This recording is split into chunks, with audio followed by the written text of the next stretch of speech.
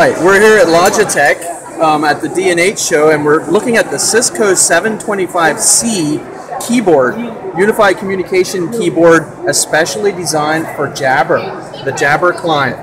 What are some things that are special about this keyboard? Well, one thing we have here is we have a voicemail button, uh, and one thing we'll notice, all the buttons along the top here have indicator lights, including the voicemail button. Now it's not plugged in, so no lights.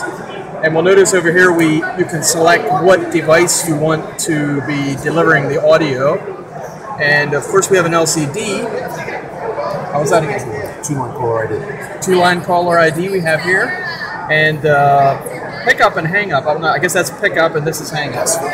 And we also have a video mute and audio mute. Of course your audio volume and dialing. You have your number pad. Now, one of the things I noticed as I took a look at this keyboard, it's, it's more of a flat form factor. Maybe not not quite traditional, but certainly nothing wrong with it. Um, if we flip it here, flip it on the back side, yeah, it looks pretty pretty pretty normal. We have a, a grippy, um, has a nice weight, nice weight and balance. You'll notice right there it says designed for Cisco. On the back we have. And if we flip it over here, we have a USB device that is for the dongle for the wireless receiver. Yep, the Unify receiver. Unify receiver. Unifying for the, receiver, yes. Unifying receiver for the wireless mouse. And it also comes with an HD cam. And you'll notice it has, uh, you can ease very clearly see Privacy if the privacy screen is shut there.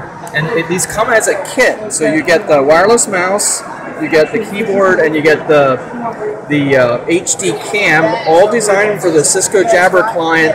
And we're looking at roughly 279 as a retail price.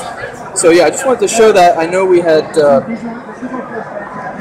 so the Cis- the Logitech, uh, what, what do we call it? The Logitech UC solution, for Cisco. for Cisco 725C. All right, there you go.